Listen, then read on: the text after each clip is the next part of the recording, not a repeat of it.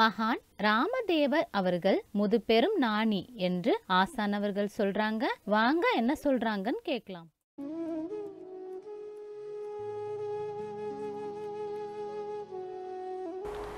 ஓம் அகத்தீஷாய நம ஓம் அகத்தீஷாய நம ஓம் அகத்தீஷாய நம ஓம் அகத்தீஷாய நம ஓம் அகத்தீஷாய நம. ஓம் அகத்தீஷாய நம ஓம் அகத்தீஷாய சைனம. ஓம் அகத்தீஷாய நம ஓம் அகத்தீஷாய சைனம. ஓம் அகத்தீஷாய நம ஓம் அகத்தீசாய நம ஓம் அகத்தீசாய நம ஓம் அகத்தீசாய சைனம. அன்புள்ள பெரியோர்களே தாய்மார்களே உங்கள் அனைவருக்கும் வணக்கம். மகான் ராமதேவர் அவர்கள் முதுபெரும் ஞானி. அவர் யாகூப்பாகவும் ஒரு ஒரு ஜென்மத்தில் யாகூப்பாக இருந்து சித்தி பெற்றார்.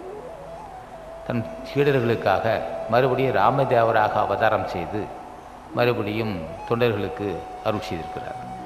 அதான் யாகூப் என்ற ராமதேவர். காலாங்கிநாதனும் கமலமுனியும் ஒன்று அது அந்த மரபில் வரவர்களுக்கு தெரியும். அப்போ யோகாபியாசம் யோக பயிற்சி உண்டு. யோகம் இல்லை என்று சொல்ல முடியாது. அந்த யோகமும் ஆசான் ஆட்சி இல்லாமல் அது செய்ய முடியாது. ஆசான் ஆட்சி இல்லாமல் பிராணாயாமம் அல்லது யோக பயிற்சி மூச்சு காற்று மூச்சு காற்று வசப்படுத்தல் மூச்சு பயிற்சி வாசி பழக்கம் செய்தால் நிச்சயமாக நோய்வாய்ப்பட்டு இறந்து போவார். அப்போ ஆசான் என்ன செய்கிறார் ஆசான் இப்போ ஞானிகள் அத்தனை பேரும் நாங்கள் ஒரு இடம் வந்து பயிற்சி பெற்றிருக்கிறோம். இதே பயிற்சி ஆயிரத்தி தொள்ளாயிரத்தி அறுபதில் நான் பயிற்சி பெற்றேன்.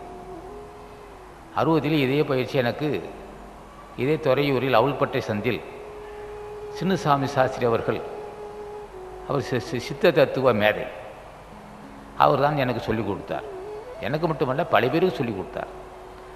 அவர் இதை பயிற்சி தான் எனக்கு ஆரம்பத்தில் சொன்னார். அது ஆரம்பத்தில் நான் ச கடைபிடிக்க முடியவில்லை பிறகுதான் ஈடுபட்டேன். அப்போது என்ன செய்கிறார்கள்? ஆரம்பத்தில் இதே ம- இதே போன்று தான் காலையில் ஆறு ஐந்து மணி அப்போ அவர் ஐந்து மணிக்கு சொன்னார். எப்படி இருந்தாலும் சரி. பிரம்- பிரம்ம முகூர்த்தத்தில் அதிகாலை ஐந்து மணிக்கோ நாலரை முப்பது எழுந்து காலக்கடனை முடித்துவிட்டு அப்போ திருவிளக்கு இந்த இந்த விளக்கு இருந்தால் போதும் மின்சார விளக்கே போதும். வடக்கு திசையாக வடக்கு நோக்கி இருந்து சும்மா இப்போ சாதாரணமாக இப்படியே. அப்படி இடுப்பை வினாத்தண்டு நிமிர்ந்திருக்க வேண்டும். இப்படி கூணம் விழுந்து இருக்கக்கூடாது. அப்படி உட்கா இப்படி குனிந்து பிராணம் செய்யக்கூடாது. அது உடம்பில் வாயு வயிற்றில் வாயு தங்கிவிடும். அப்படி பத்மாசனம் போடலாம். ஆரம்ப நிலைக்கு தேவையில்லை. வினாத்துடன் நிமிர்ந்திருக்க வேண்டும். அதுதான். இப்போ காலைக்கடையை முடித்து விட்டு மகான் ராமதேவர் சொன்னது போல் வெறும் வெற்றில் செய்யக்கூடாது. ஆசானது அருளுரைகளை தொடர்ந்து கேட்க அரங்கர் டிவிக்கு லைக் பண்ணுங்க சப்ஸ்கிரைப் பண்ணுங்க. மறக்காம பெல் பட்டனையும் கிளிக் பண்ணுங்க.